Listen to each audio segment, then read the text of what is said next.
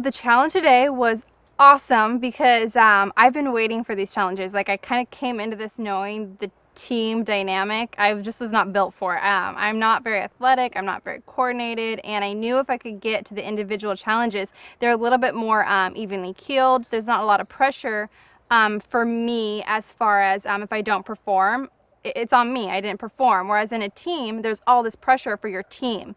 And um, I sucked at that. But today it was so great because I knew that, you know, I had a chance in it being a memory game and um, I went into it just really confident and uh, the outcome I was, you know, I was disappointed in myself that I didn't win, but I did get one spot further than my mom and that is a record for me so far.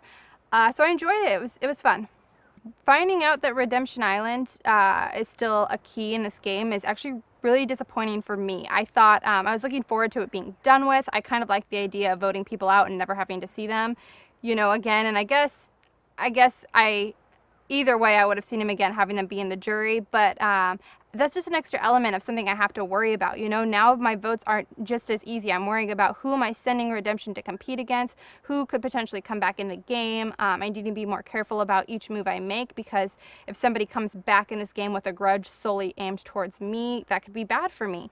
So um, it added a bunch new elements. Um, I'm gonna have to learn to just, you know, go with it, but but we'll see. I think some people are really excited for um, because now you're not necessarily out of the game when you're voted out. But for me, I would have been fine if I would have never seen Redemption Island again.